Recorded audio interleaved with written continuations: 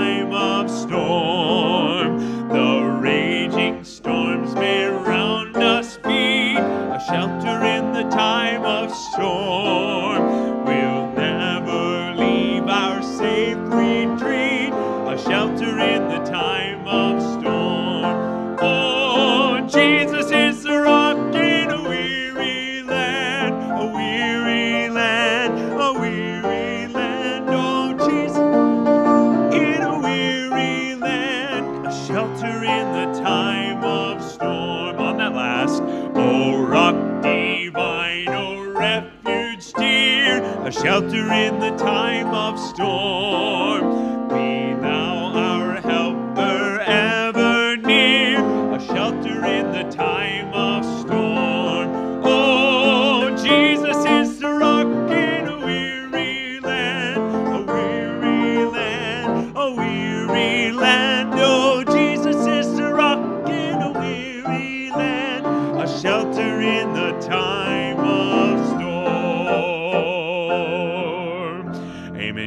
Start this evening. Turn over to 209. 209 as we continue singing till the storm passes by. 209 till the storm passes by as we sing all three verses, starting on that first. In the dark of the midnight have I oft hid my face while the storm howls above me and there's no hiding place mid the crash of the thunder. Precious Lord, hear my cry, keep me safe till the storm passes by. Till the storm passes over, till the thunder sounds no more, till the clouds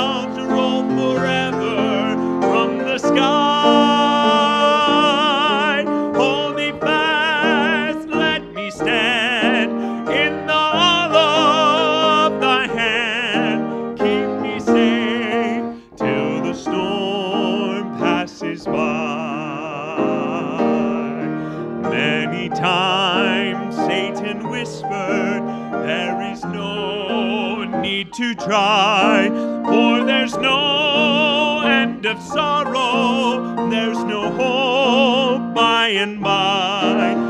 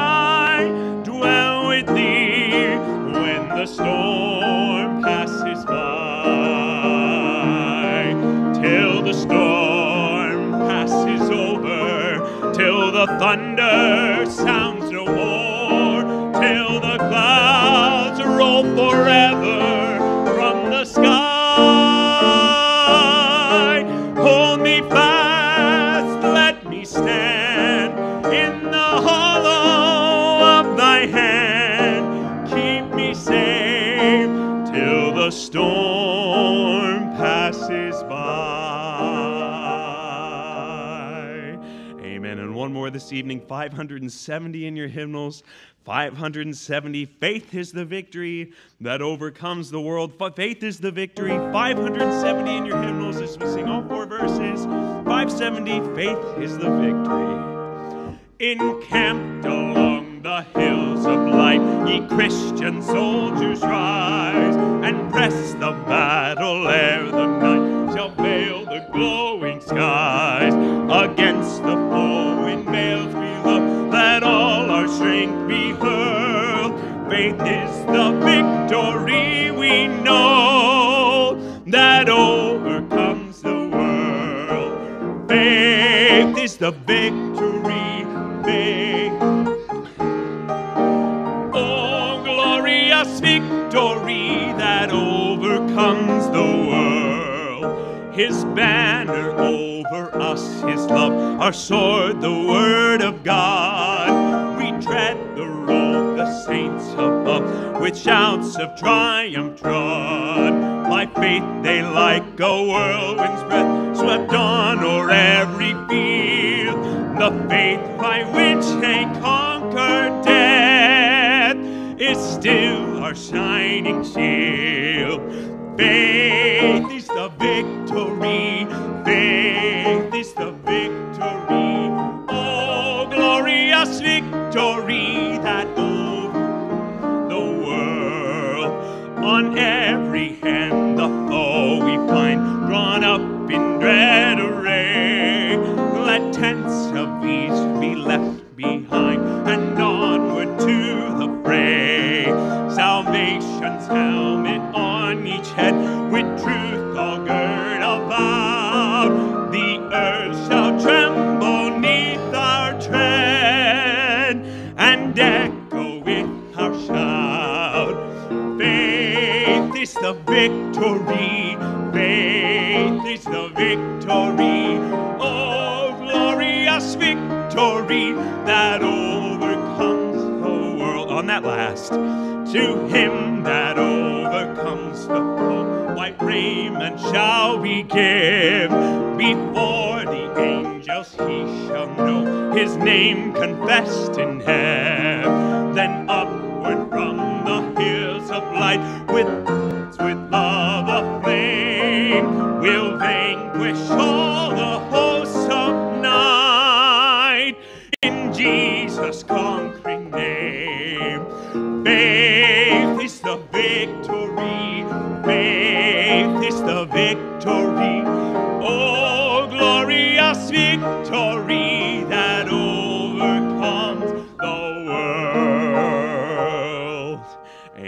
Singing. Please remain standing for the prayer. Let's pray. Dear Heavenly Father, we come before you this night. And Lord, once again, we ask that you would meet with us, that you would encourage us and strengthen us out of your word, that you would teach us things that would help us to live each day for you. In Jesus' name we pray. Amen. You may be seated. And um, uh, just a couple things to uh, report. We have made some serious progress over at Union on the lights. Uh, the only problem was somebody ordered only 12 pieces of molding when we needed about 16. I'm not going to tell you who that was, but uh, we're kind of stuck until we get some more molding in, which should be here next week while I'm in Oklahoma City. Amen. And so uh, hopefully, once I get back, be able to finish up this first section and, and uh, uh, get the lights installed and actually see what this is going to look like. So uh, please keep that in prayer if you would. And uh, we've had some success with the uh, May offering uh, for Heartland. Was able to get a hold of actually. Brother Copes came up with the idea. He said, Why don't you have so and so from Indiana call so and so from Baltimore? And it worked. And so we're just we're moving forward and uh, we're going to be able to get very close to what we gave last year. Uh, Open Door Bible Baptist Church is doing exceptional. Uh, the extra offerings that have come in have put us to the highest level of giving that we've ever been able to do, and so we praise the Lord for that. And uh, I think I told you, even Union has promised uh, to uh, participate in the offering, and uh, that was very good, and uh, people are giving. And of course, if you want to serve the Lord, if you want God to bless you, one of the ways we don't give to get, not a slot machine. But when we allow God to work in our hearts to give, it opens the door for Him to bless us. And so let's uh, keep all of those things in prayer. Next uh, Thursday night, I think I have this right. You're here and uh, pray for Brother Jason as he'll be going over and preaching at Union on Wednesday night. And uh, Lord willing, we'll be coming back Friday afternoon and uh, be here for Sunday and all those things uh, that are going on. Brother Shravi and I are going together. And so, Lord willing, we'll be able to uh, enjoy uh, the time together and the meeting itself. So, with all that said, uh, let's have that last song, get right into it. All right, join me in standing. Turn to 397. 397, trusting Jesus, simply trusting every day. Trusting Jesus, 397, as we sing all four verses this evening. Trusting Jesus. Simply trusting every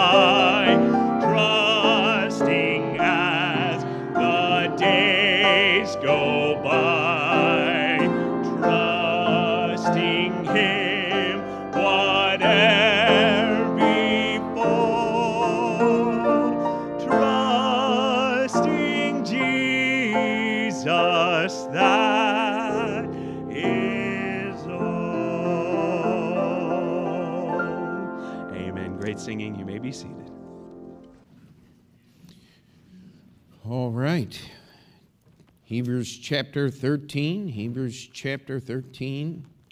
And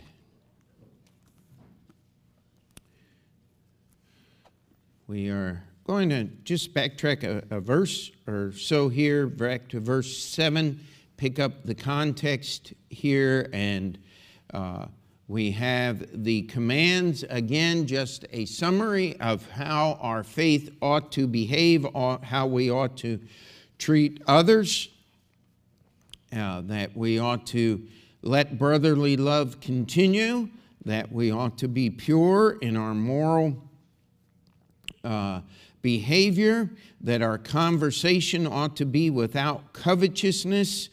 And verse 6 so that we may boldly say, The Lord is my helper, and I will not fear what man shall do unto me. And uh, I forgot to tell you during the announcement time, uh, Brother uh, John Wilkerson, many of you remember him from years gone by, was actually just traveling through New York City. And so I, I get a text from him this morning Would you mind if I stop by? And so he brought his son and uh, one of the young staff members from the church there in Indiana, where he is now, and he said, Would you tell them the story of Open Door?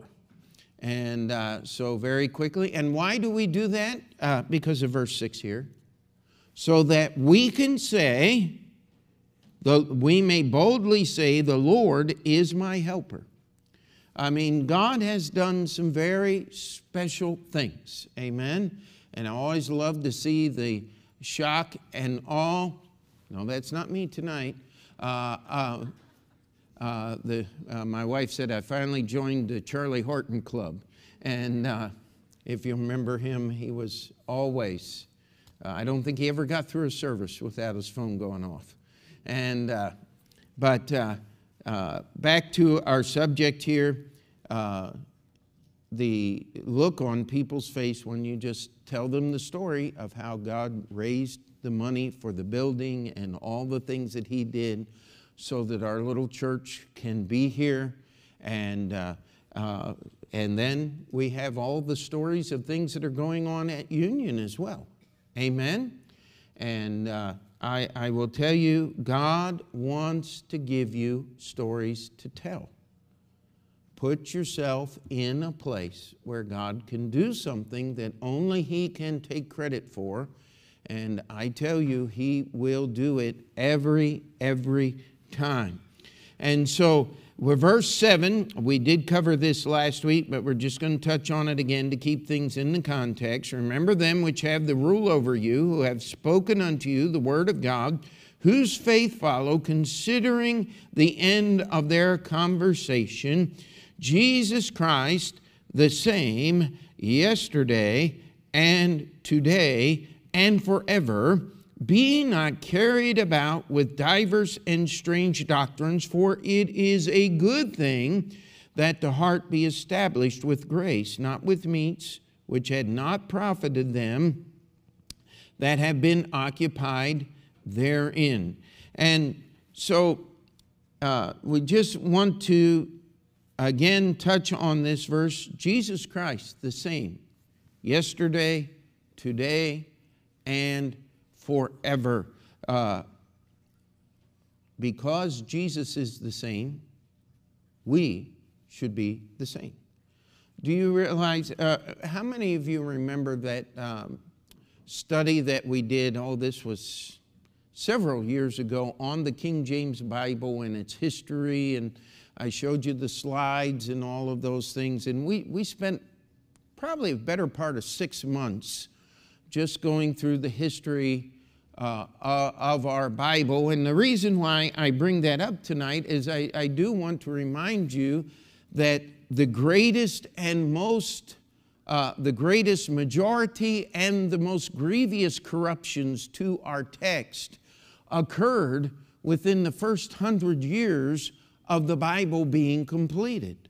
Uh, that's why some of these quote unquote oldest and best manuscripts aren't the oldest and they aren't the best. Uh, the reason they're the oldest uh, existing manuscripts is because nobody used them. I was just looking at my Bible here as I was opening up uh, during the song service and put my bookmark in. Uh, Hebrews chapter 13 and James chapter 1 are loose in this Bible. Uh, it is wearing out. And, that's what happens when you use a Bible. It wears out. And so we need to understand Jesus hasn't changed. His word hasn't changed. The idea that people would try to change God's word, try to change what we believe, is nothing new. Jesus warned about it. Paul warned the Ephesian uh, the elders of the Ephesian church about this in the book of Acts. Uh, this is something that is going to happen, going to continue to happen until the ultimate corruption of truth is embodied in the man who the world will believe is Jesus Christ, the Antichrist. Uh, if we understand the scripture correctly, he is alive today, but he cannot reveal himself until after the church is removed at the rapture, and then things are going to begin to happen very, very quickly. And it tells us here that our hearts need to be established with grace. And, and I gave the uh, outrageous example of the man whose faith was established by uh, prohibiting wire frame glasses and different people have held on to all kinds of things over the years. One of the things that I have striven for as your pastor is to get you to pay attention to what's written down. That is our only protection. This is the only thing that we have. And if we're going to protect ourselves from being carried about with these strange uh, doctrines and diverse doctrines, our hearts need to be established with grace. I mean, how many times, just stop and think about it. I ask the question often, but how many times have you heard something and it sounded right, but you knew something was wrong and you just weren't quite sure what it was? Uh, that is a heart that is established with grace, protecting you from the trickery and the deceit that is out there. No, we don't follow our hearts. Amen. And we go back to the scripture and we keep things in the scripture, but our religion is not in things that we can hold in our hands. Uh, we have very few relics in the Baptist church. Uh, in fact, we have no real relics. Uh, someone once said there's enough splinters of the cross uh, to build Noah's ark and, uh, and, enough nails of the cross to hold Noah's ark together. And, uh, and there's all of these things that people go out there, and if you have ever heard of the Shroud of Turin and how that is the image of Christ, it was verified a painting uh, there is no blood cells in the blood stains, but uh, there is uh, uh, red ochre, which is the color that makes the paint uh, looked like dried blood and, and was uh, used in those days. We do not hold to seeing our faith established by things that are out there. How many of you remember that time they said they found Noah's Ark? And this was going to prove the Bible was correct. And then the Turkish government wouldn't give them freedom to go up there and examine, and everybody was, oh, wow, if we, if we could only go up there, people would believe. No. People, if they won't accept God's grace and they won't allow their faith to be established by what's written in this book, it doesn't matter what you do, they're not going to believe. So we need to be consistent. We need to be careful. We need to be grounded in the Word of God. And we get to verse 10, and our writer goes on beyond this and he begins to talk about our altar. The sacrifices that we are saved with are not the sacrifices that were performed by the Levites uh, in the temple. Uh, the idea that those sacrifices saved anyone is not true. The evidence is very full in your Bible. How did Daniel get saved who never offered a sacrifice in his adult life? Daniel did not build an altar in his house to offer sacrifices to God because he wasn't a Levite, it wasn't the temple, it wasn't the right city. What did he do? He opened his windows and he prayed three times a day toward Jerusalem. That's all he could do. But God gave him incredible revelation and insight into things that have happened. And one of the criticisms of the book of Daniel is that it's so accurate it could not possibly be prophecy. Uh, I just love that. Uh, God's prophecy is too accurate when in the book of Deuteronomy, God said the standard for his prophets was 100% accuracy. Amen? Uh, and so, uh, our altar, where the sacrifice was made that saved us, we don't partake of that altar. We don't get to eat of those sacrifices. And it goes on here and it says, the bodies of, uh, uh, uh, I'm sorry, for the bodies of those beasts whose blood is brought into the sanctuary by the high priest for sin are burned without the camp. Wherefore Jesus also, that he might sanctify the people with his own blood, suffered without the gate. Let us go therefore, un, therefore unto him without the camp, bearing his reproach.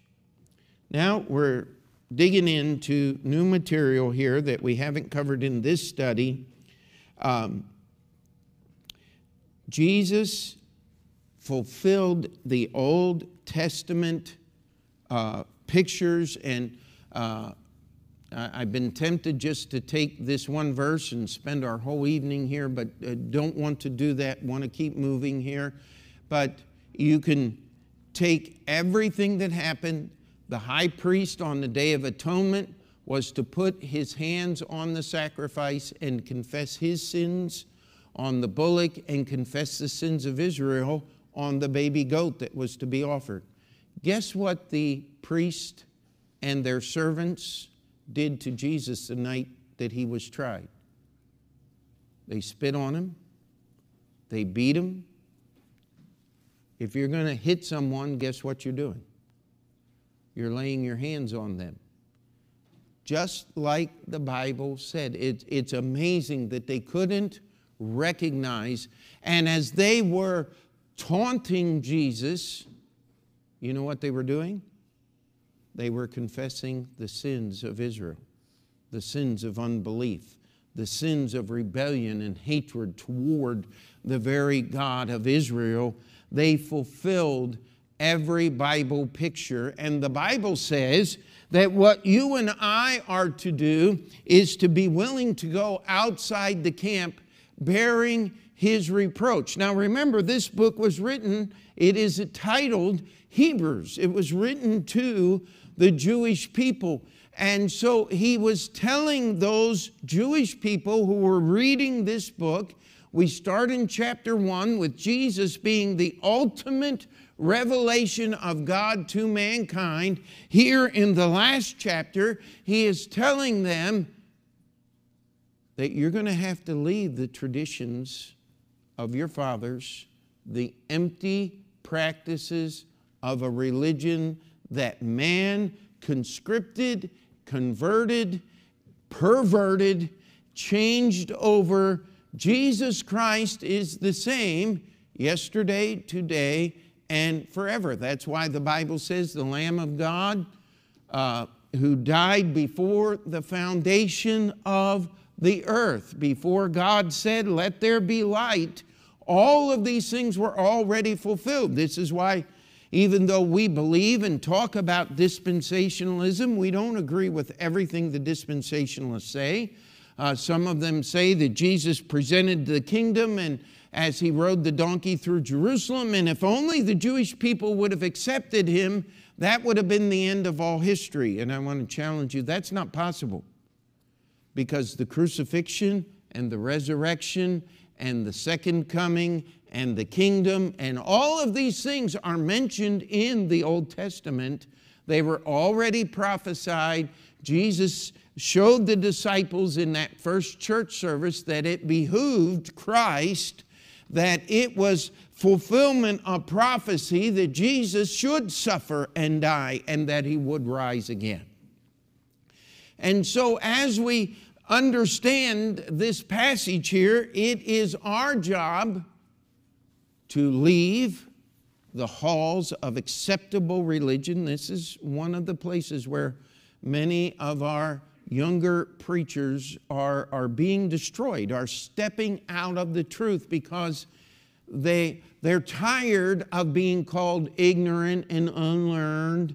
And uh, I know that uh, uh, sometimes uh, we, as uh, Baptist preachers, are not careful with things that we should be careful with, and we can appear uh, like we do not know our information. But I'll tell you one thing there's no excuse for not knowing the Bible. And there's no excuse for leaving what is clearly taught in the Bible. Those out there that are not even saved. We've got to be careful about this.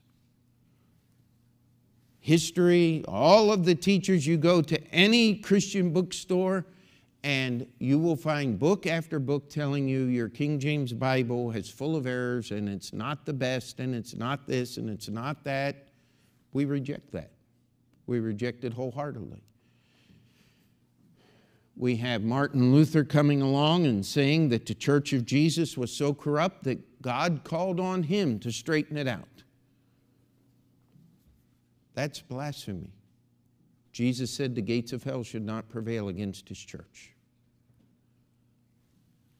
Sun Myung Moon, talk about dumber than dumb, comes along and says Jesus appeared and begged me to fix the problems that he left in his church.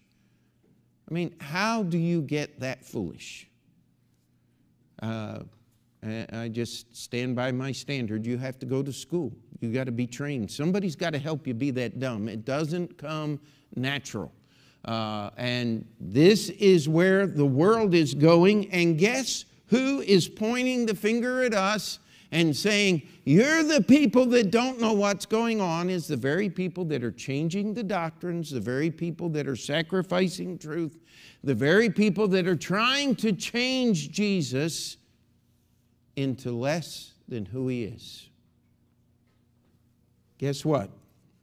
Jesus hasn't changed. We're not going to change.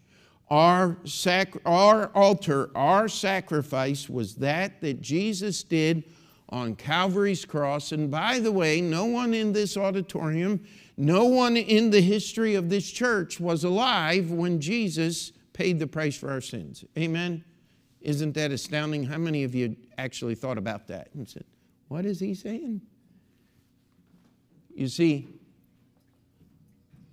the work is done. We're not trying to redo the work. Here's what it says For here have we no continuing city, but we seek one to come. By him, therefore, let us offer the sacrifice of praise to God continually. That is the fruit of our lips, giving thanks to his name. Our sight should be set on the New Jerusalem. I'll tell you, I, I, I, uh, I, I, believe that I am as patriotic as I can be, uh, but I still cringe when we sing that uh, song talking about thine alabaster city, uh, city's gleam undimmed by human tears. Uh, uh, that's not here, all right? Uh, the, the poet was waxing just a little eloquent there and uh, uh, has stepped far beyond the realm of hyperbole. But we are looking for that city whose builder and maker is God. That city where no tears will stain those golden streets. That city where the Lamb and God Himself is the light thereof. And if we lose track on that, I, I want to remind you we need to be careful. You don't want to be on the wrong side of prophecy. And it just may be, as we cannot find America distinctively spoken of in the scriptures, that there may be some cataclysmic things that happen and change everything we know before the Antichrist can be uh, revealed, and we may be participants in those horrific events. But if our sight is set on the New Jerusalem, guess what? We may have to say goodbye. Uh, I, I cringe sometimes when people sing, God bless America because they're not going, Please, God, will you bless America? It's almost commanding Him. It's almost saying that it is decided that God should bless us. And there's many reasons God's judgment is and should be upon us. Our sight is the New Jerusalem. You know what our duty is? In everything, give thanks, for this is the will of God in Christ Jesus concerning you. How many of you know that verse is in 1 Thessalonians chapter 5? But it's what it says here in the book of Hebrews, chapter 13 and verse 15, is it not? By him, Jesus, therefore, because of what he has done and will do, let us offer the sacrifice of praise to God continually, that is, the fruit of our lips, giving thanks to his name. This is our hope. This is what keeps us from getting depressed and losing sight of God's goodness and God's grace. We've got to stay here. We've got to remain thankful to God for what He is doing, what He has done. And we need to understand the promises I will never leave thee nor forsake thee. That alone should be enough to keep our, our sights on the Lord Jesus Christ. Amen. If we stop being thankful, that is the first step to perdition. Now, until Jesus comes, we have a few things to do here. And uh, verse 6 to do good and to communicate, forget not, for with such sacrifices God is well pleased. How many of you have ever had an opportunity to do something good, to just help somebody? And it was like, oh no, I got to do this. Listen, to do good, if we have an opportunity to do good, let's be the doer of the good. Amen? Let's be careful about our complaining. We take care of that in the previous verse, and it says, uh, and to communicate, forget not. I, I can't explain this. Uh, I remember uh, one Sunday, actually, many years ago, when my wife and I were first married, we had an ice storm in Cleveland, Ohio. Now, ice storms, we, you get those in Oklahoma City, and they're there in the morning and they're gone in the afternoon. Uh, maybe they'll come in in the evening and freeze everything overnight, but by the noon the next day, all the tree branches are broken, power lines are down, and it warms up and it melts and goes away. But I'll tell you, in Cleveland, I mean, the ice was there and it was there to stay. It took them several days to get that thing. And uh, I, I, remember uh, I was the bus mechanic at the church and I called up uh, the bus director and I said, What are we doing? He said, We're not running the buses today. And I said, uh, I've got an old uh, clunker of a car. I'm afraid to uh, uh, drive it. He said, No, no, do what's safe and stay home. We got there next Sunday and uh, Brother Thompson was in fine form. He said, You know, only about a quarter of our church showed up last Sunday. He said, But three quarters of the offering did. And uh, he reminded people that they were to communicate. That's, that's what the word communicate. And I, I want to say something through this COVID thing and everything. Our church is honestly evaluating, we're about down to half our former attendance. But I want to tell you, we're still running 100% of our offerings. So people are communicating. This is good. This is part of our duties. And please, Let's, let's keep that testimony up and let's be faithful. Let's do good. Let's communicate. And what's the next one? It, it says here, these are the sacrifices that God wants us to make. And it says, Obey them that have the rule over you, and submit yourselves, for they watch for your souls, as they must give an account, that they may do it with joy and not with grief, for that is unprofitable for you.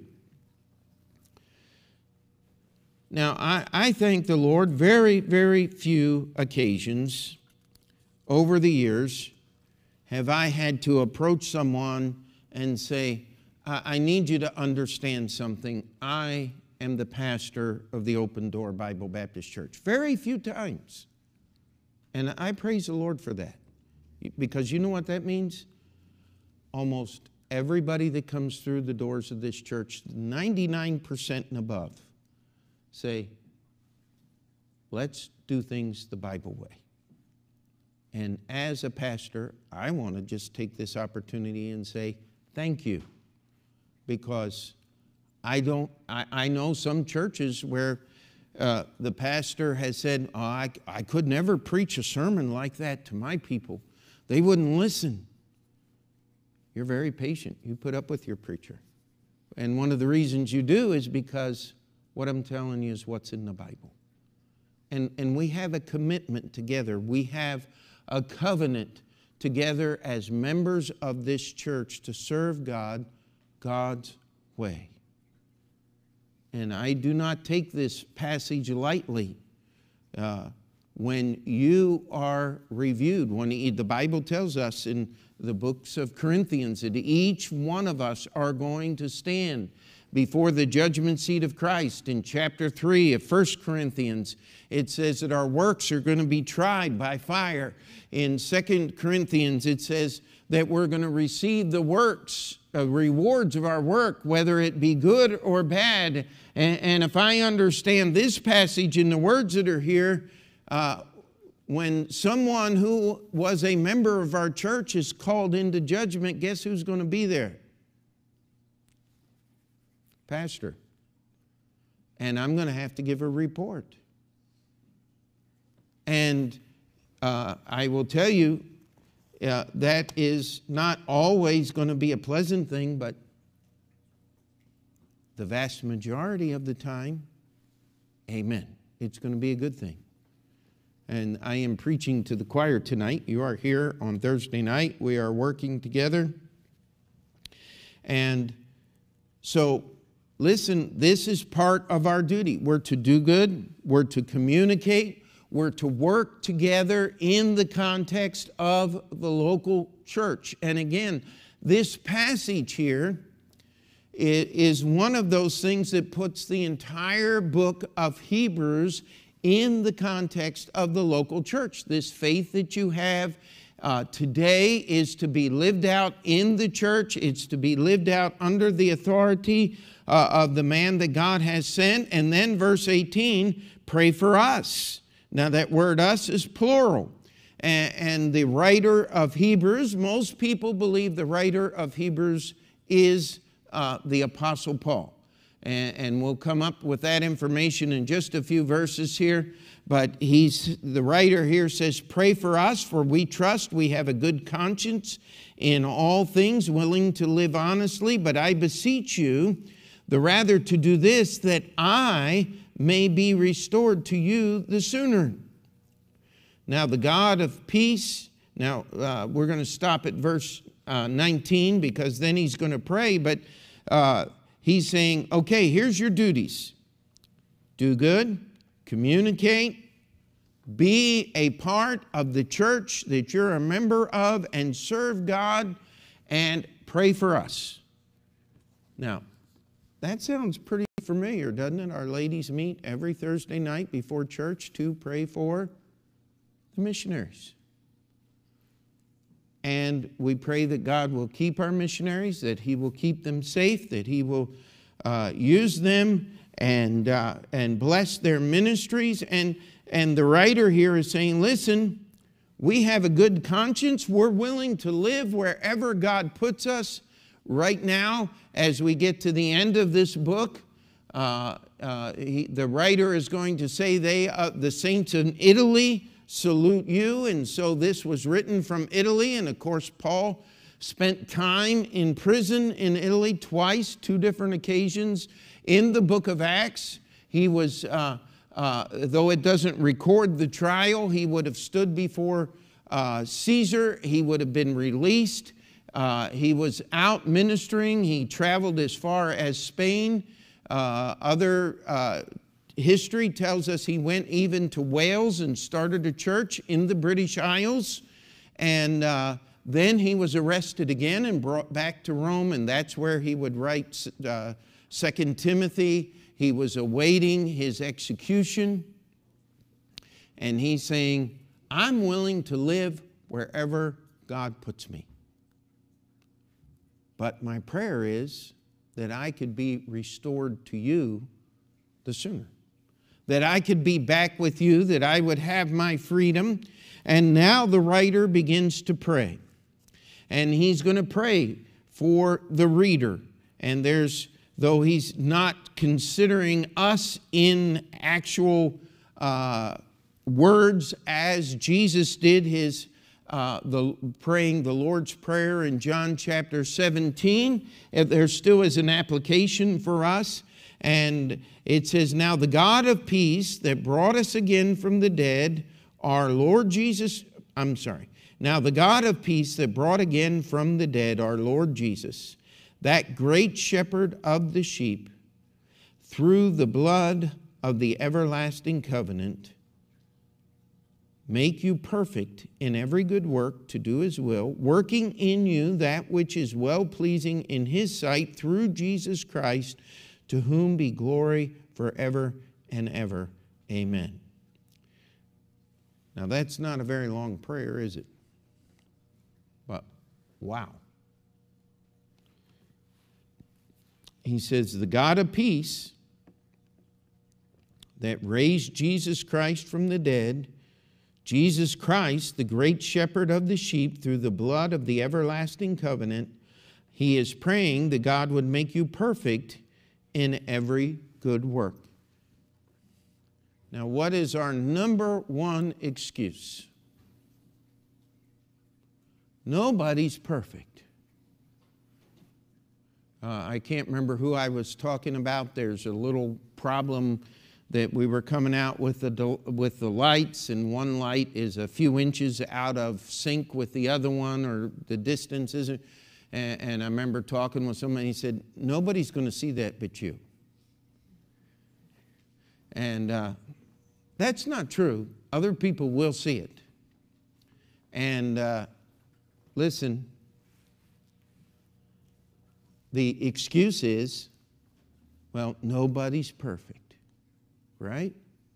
Well, wait a minute. Right here, the writer is praying that God would make them perfect. So let's stop redefining words so that we have an excuse not to do what we're supposed to do. The word perfect simply means complete. Have you accomplished everything that God wants you to accomplish? You say, well, how in the world will I know? Well, if you look in the mirror, get real close and go, and if there's a little steam on the mirror, you're still alive, all right? And uh, if you're still alive, God has something for you to do. Amen? Uh, let's try that again. If you're alive, if God has given you life through Jesus Christ, He's got things He wants you to do. You're not finished yet. And so we need to keep doing those work and to be perfect is just to fulfill God's will for our life. Let's not stand before God and say, well, nobody's perfect. Okay, tell me something that God doesn't already know. Uh, but He wants us to be perfect. He doesn't want us to redefine the words. God is not talking about sinless perfection. That's why Jesus died on the cross. Amen. That's why 1 John 1 9, if we confess our sins, He is faithful and just to forgive us our sins. This is in the Bible, but let's strive. Let's keep our eyes on that New Jerusalem. Let's keep our eyes on God who brought Jesus back from the dead, who established the covenant uh, uh, through his everlasting um, sacrifice, through the blood of the everlasting covenant, is the words here. Let's ask God to help us to complete the work He's given us, to do His will, that Christ would work in you that which is well pleasing in His sight. Now, how's that happen? Through Jesus. Remember dealing with a dear lady, I, I don't know. She never gave testimony that she actually trusted Jesus as her Savior. Witnessed to her many, many times she said, I just can't live that narrow road. It's just, it's just too tight for me. I, I can't do everything I'm supposed to do. And, and, and uh, welcome to the human race. None of us are perfect in that sense. We are made perfect in Jesus Christ, and any good thing that we do is because Jesus was working in us. We go back to the first verse that we may boldly say, The Lord is our helper, and I'm not going to be afraid of what man can do. Amen. Paul's, uh, well, I, I said Paul, but the writer's prayer is to make you perfect in every good work, to do his will, working in you that which is well pleasing in his sight through Jesus Christ, to whom be glory forever and ever. Our purpose, read Revelation chapter 4, the last verse, is for His pleasure, is to bring glory to His name. Read the book of Ephesians, that in the ages to come we can show the exceeding kindness of God to us word. And then the writer says, make uh, verse 20 and I beseech you, brethren, suffer the word of exhortation, for I have written a letter unto you in a few words. Now, the lesson count here is 33. So we've added to those words more than a few. Amen? Uh, we have spent some time studying this book. Uh, the last time we went through the book of, uh, of Hebrews, I think it was 78 lessons, uh, about a year and a half. And uh, I, I make no apologies for being shorter this time or being longer that time. Uh, I just want you to know that the writer here says this is only a little portion. That's why I like to make the connections in the book of Hebrews to all the other scriptures that we can. Uh, if you want an exercise that will help you spiritually, just start in Hebrews chapter 1 and start connecting other scriptures that talk about the same thing. Uh, you, will, you will connect nearly every chapter in the Bible before you're done. Now we get to the final closing words. Know ye that our brother Timothy is set at liberty, with whom, if he comes shortly, I will see you. This is the main reason most people believe the Apostle Paul wrote the book, that Timothy was his scribe who actually wrote the words. And uh, Paul always had a habit of saying, I've written to you in just a few words, because Paul uh, was truly a Baptist preacher in every sense of the word. He had a lot more to say than what he took time to say. Amen? And uh, so uh, Timothy, he says, is being set at liberty. And if I get my liberty, guess what? I'm coming with him. Salute all them that have the rule over you. So he's talking to the Hebrews in general. He says, You salute the pastors of the church. Then you salute all the saints, and they of Italy salute you. Uh, one of the reasons why I'm going to the meeting next week uh, at Heartland is because I serve on the board and I'm supposed to be there for the board meetings. Amen? But the reason we have that board and the reason I serve on that board is simply because the leaders of the college understand something. Colleges are not here. In these days, people were trained right in their local churches. But I'd like to challenge you if we took every dollar we've given to Heartland over the years, and that would be a lot of money. I mean, in anybody's book we would barely have what it takes to educate one or two students. And if I'm honest, we wouldn't do as good a job here as they are able to do there. And so we support the college and we work together because men and women need training for the ministry one of my statements that I, I stand by. If you are thinking about the gospel ministry, you must consider attending Heartland Baptist Bible College. It is one of the best schools, it is the best school I know of, that's why I support them, that will train you for the ministry. Heartland is not perfect. Uh, it can't be because it's an organization of men trying and striving but I will tell you this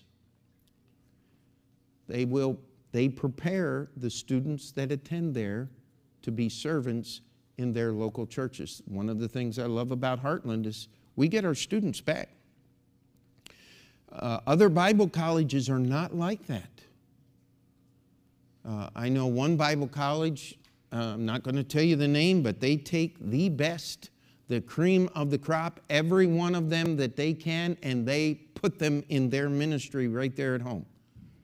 Uh, well, if Bible college is the end of all things, then that's what you ought to do. But I'll tell you, the greatest and the best graduates of Heartland are out all over the world serving the Lord.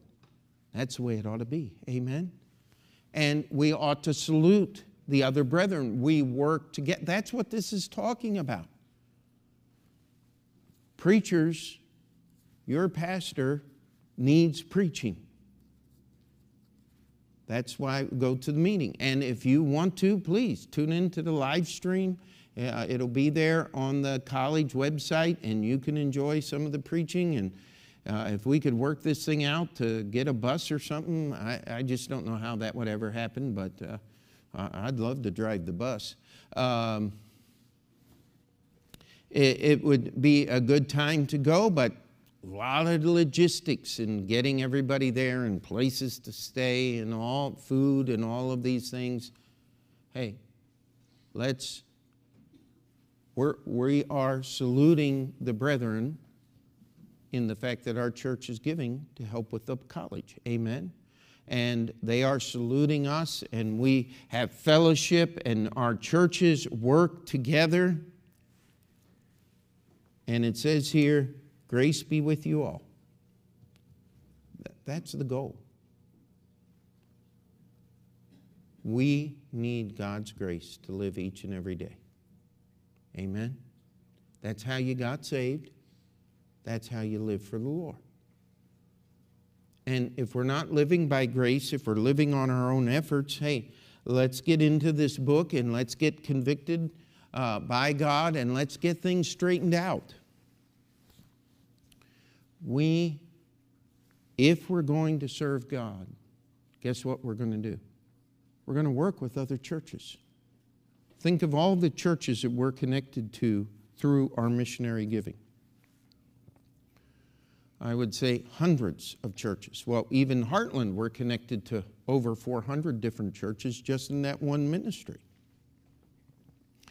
And as we serve the Lord, as we communicate, as we remain thankful to God no matter what goes on in our city, and, and as impossible as it seems. I don't know about you, I could complain about our mayor and our governor uh, several entire sermon periods. I, I could, uh, without even preparing for that message. What good would it do? other than hear you say, Yeah, Pastor, that I agree, yes. I mean, we'd have revival. No, we wouldn't. Because we wouldn't be thankful. We got to keep our hearts centered on Jesus. And praise God. New York City is not the end. I'm glad the end is in a city. I think there's a sermon there, don't you? Uh, that God loves cities and He wants us, in fact, He's going to end all Christianity in a city. Isn't that interesting? Uh, I'm not going to preach the sermon tonight, honest. But I want you to think as we've gone through this book of Hebrews, we have laid down a lot of things, again, that we've gone over before in years past, but even if you weren't here for that, there, there's nothing new in the book of Hebrews now, is there? But we're supposed to do good, communicate, keep giving, be thankful. We're supposed to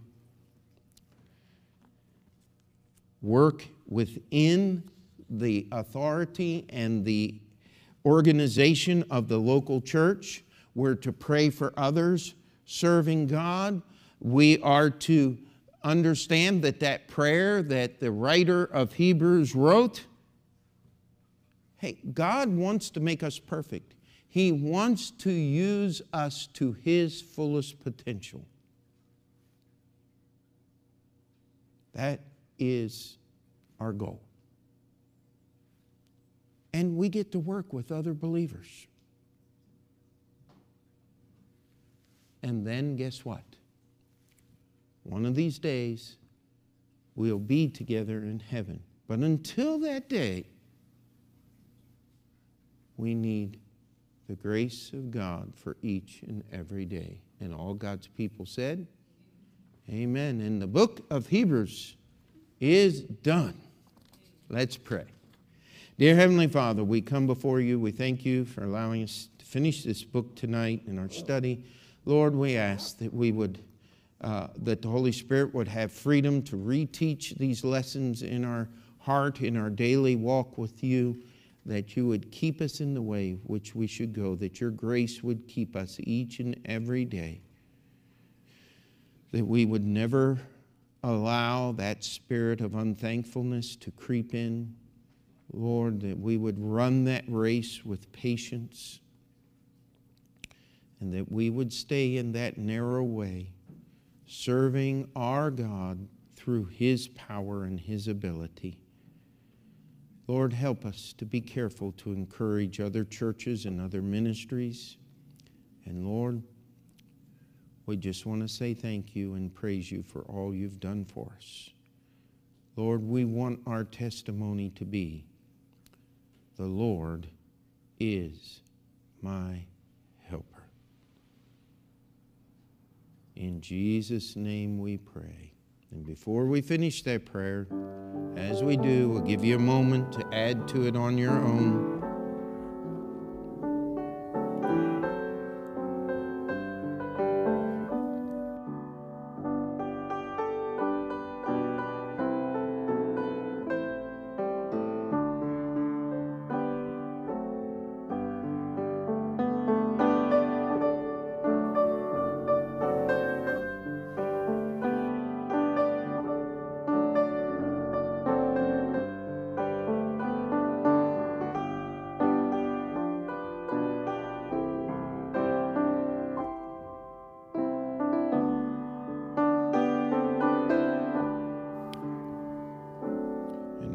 God's people said, let's stand together and let's sing our benediction as we're dismissed. Page 51. Take the name of Jesus with you, child of sorrow and of woe.